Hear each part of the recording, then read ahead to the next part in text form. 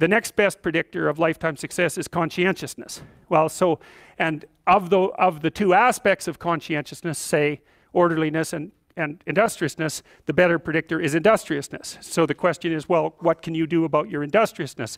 And the answer to that is well that's kind of rough too because there's a strong genetic component. But you can work on micro habits with regards to your conscientiousness and I think the best micro habits this is partly to do with this future authoring program processes I think the best thing you can do with regards to your conscientiousness is to set up some aims for yourself goals that you actually value. And the future authoring program helps people do that.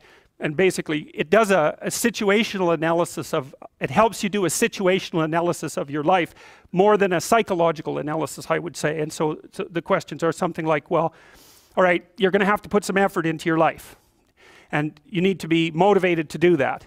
And so what are the potential sources of motivation? Well you could think about them in, in the big five manner. You know if you're extroverted you want friends. If you're agreeable you want an intimate relationship. If you're disagreeable you want to win competitions. If you're open you want to engage in creative activity.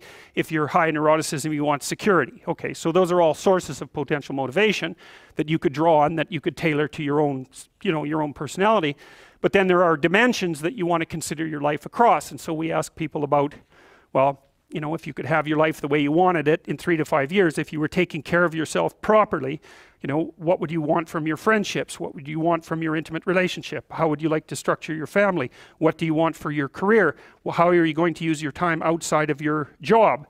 And how are you going to regulate your mental physical mental and physical health and maybe also your drug and alcohol use? Because that's that's a good place to auger down you know because alcoholism for example wipes out you know 5 to 10 percent of people. So you want to keep that under control. And then and then so maybe you know you you you develop a vision of what your life what you would like your life to be and that associates the so the goal once the goal is established and then you break down the goal into micro processes that you can implement the micro processes become rewarding in proportion in relation to their uh, causal association with the goal. And that tangles in your your incentive reward system. You know we talked about the dopaminergic incentive reward system and that's the thing that keeps you moving forward. And the way it works is that it works better if it produces positive emotion when it can see you moving towards a valued goal. Okay well what's the implication of that? Better have a valued goal because otherwise you can't get any positive motivation working out. And so the more valuable the goal in principle the more the micro processes associated with that goal start to take on a positive charge and so what that means is well you get up in the morning and you're excited to, about the day. You're ready to go. And so as far as I can tell what you do is you specify your long-term ideal. Maybe you also specify a place you want to stay the hell away from so that you're terrified to fail as well as excited about succeeding because that's also useful. You specify your goal. You, you do that you do that in some sense as a unique individual. You want to you want to specify goals that make you say oh if that could happen as a consequence of my efforts, it would clearly be worthwhile. Because the question always is, why do something? Because doing nothing is easy. You just sit there and you don't do anything. That's real easy. The question is, why would you ever do anything? And the answer to that has to be because you've determined by some means that it's worthwhile. And then the next question might be, well, where should you look for worthwhile things? And one would be, well, you could consult your own temperament. And the other would be, well, you kind of look at how Look at what it is that people accrue that's valuable across the lifespan. Look, look what, so you do a structural analysis of the subcomponents of human existence, and I already did that. You need a family, you need friends. Like, you don't need to have all these things, but you better have most of them family, friends, career, educational goals, plans for, you know, time outside of work. Uh, attention to your mental and physical health etc you know those are that's what life is about and if you don't have any of those things well then all you've got left is misery and suffering. So that's that's a bad that's a bad deal for you.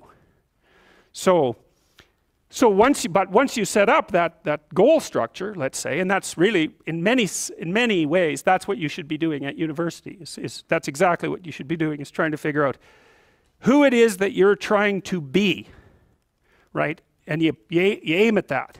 And then you use everything you learn as a means of building that person that you want to be and and I really mean want to be I don't mean should be even those things those things are going to overlap And it's important to distinguish between those because that's partly, and this is back down to the micro routine analysis. So if I was saying, well, you're going to try to make yourself more industrious, okay, number one, specify your damn goals, because how are you going to hit something if you don't know what it is? That isn't going to happen. And often people won't specify their goals too because they don't like to specify conditions for failure. So if you keep yourself all vague and foggy, which is real easy because that's just a matter of not doing as well, then you don't know when you fail. And people might say, well, I really don't want to know when I fail because that's painful. So I'll, I'll keep myself blind about when I fail. That's fine, except you'll fail all the time then. You just won't know it until you've failed so badly that you're done. And that can easily happen by the time you're 40. So, so I would recommend that you don't let that happen. So that's willful blindness, right? You could have known, but you chose not to. Okay, so once you get your goal structure set up, you think, okay, if I could have this life it looks like that might be worth living, despite the fact that it's going to be, you know, anxiety provoking and threatening, and there's going to be some suffering and loss involved in all of that, obviously. The goal is to, to have a vision for your life such that, all things considered, that justifies your effort. Okay, so then what do you do? Well, then, then you turn down to the micro routines. It's like, okay, well, this is what I'm aiming for. How does that instantiate itself day to day, week to week, month to month? And that's where something like a schedule can be unbelievably useful. Google Calendar. It's like, make a damn schedule and stick to it. Okay, so what's the rule with the schedule? It's not a bloody prison. That's the first thing that people do wrong. They say, well, I don't like to follow a schedule. Well, it's like, well, what kind of schedule are you setting up? Well, I, I have to do this, then I have to do this, then I have to do this, you know, and then I just go play video games because who wants to do all these things that I have to do? It's like, wrong. Set the damn schedule up so that you have the day you want. That's the trick. It's like, okay, I've got tomorrow. If I was going to set it up so it was the best possible day I could have, practically speaking, what would it look like? Well, then you schedule that. And obviously, there's a bit of responsibility that's going to go along with that because if you have any sense, one of the things that you're going to insist upon is that at the end of the day, you're not in worse shape than you were that, than at the beginning of the day, right? Because that's a stupid day if you have a bunch of those in a row, you just dig, you know, you dig yourself a hole and then you bury yourself in it. It's like, sorry, that's just not a good strategy. It's a bad strategy. So maybe 20% of your day has to be responsibility and obligation, or maybe it's more than that, depending on how far behind you are. But even that, you can, you can ask yourself, okay, well, I've got these responsibilities. I have to schedule the damn things in. What's the right ratio of responsibility to reward? And you can ask yourself that just like you'd negotiate with someone who is working for you. It's like, okay, you got to work tomorrow. Okay, so I want you to work tomorrow. And you might say, okay, well, what are you going to do for me that makes it likely that I'll work for you? Well, you could ask yourself that, you know. So maybe you do an hour of, of responsibility and then you play a video game for 15 minutes. I don't know, whatever turns your crank, man. But, you know, you have to negotiate with yourself and not tyrannize yourself. Like you're negotiating with someone that you care for, that you would like to be productive and have a good life. And, and that's how you make the schedule. It's like, and then you look at the day and you think, well, if I had that day, that'd be good. Great you know, and you, you're useless and horrible, so you'll probably only hit it with about 70% accuracy, but that beats the hell out of zero, right? And if you hit it even with 50% accuracy, another rule is, well, aim for 51% the next week, or 50.5% for God's sake, or because you're, you're going to hit that position where things start to loop back positively and spiral you upward. And so, so that's one way that you can work on your conscientiousness, is plan a life you'd like to have.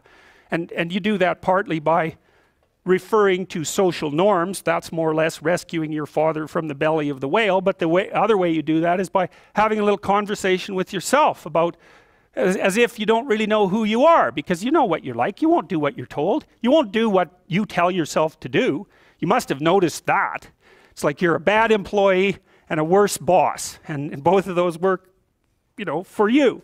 You don't know what you want to do, and then when you tell yourself what to do, you don't do it anyways. You should fire yourself and find someone else to be. But, but you know, my point is, is that you have to understand that you're not your own servant, so to speak. You're someone that you have to negotiate with, and that's, and you, you're someone that you want to present the opportunity of having a good life to. And that's hard for people because they don't like themselves very much. So, you know, they're always like cracking the whip and then procrastinating and cracking the whip and then procrastinating. And it's like, God, it's so boring and such a pathetic way of spending your time. And you know what that's like because you probably waste like six hours a day. And I think we did an economic calculation about that a while back, right? Your time's probably worth 50 bucks an hour, something like that. I mean, you're not getting paid that now, but you're young, and so this is investment time, and what you do now is going to multiply its effects in the future. So so let's say it's 50 bucks an hour, which is perfectly reasonable. So if you waste six hours a day, and you are, then you're wasting about $2,000 a week or about $100,000 a year. So like, go ahead, but that's what it's costing you every hour. And you need to know what your damn time is worth. So let's say it's not 50 bucks, it's 30, whatever. Maybe it's 100, it's somewhere in that range. One of the things you should be asking yourself is, when you spend an hour, was that, well, would have I paid someone 50 bucks to have had that hour? And if the answer is no, it's like, well, maybe you should do something else with your time. And it depends on whether or not you think that your time's worthwhile. But the funny thing about not assuming that is if you assume your time isn't worthwhile, what happens is you don't just sit around sort of randomly in a state of responsibilityless bliss. What you do is you suffer existentially. And so that seems like a stupid solution. Upgrade your style with JNS.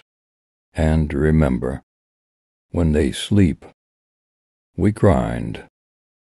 Find our shop in the link and description, jnsbros.com.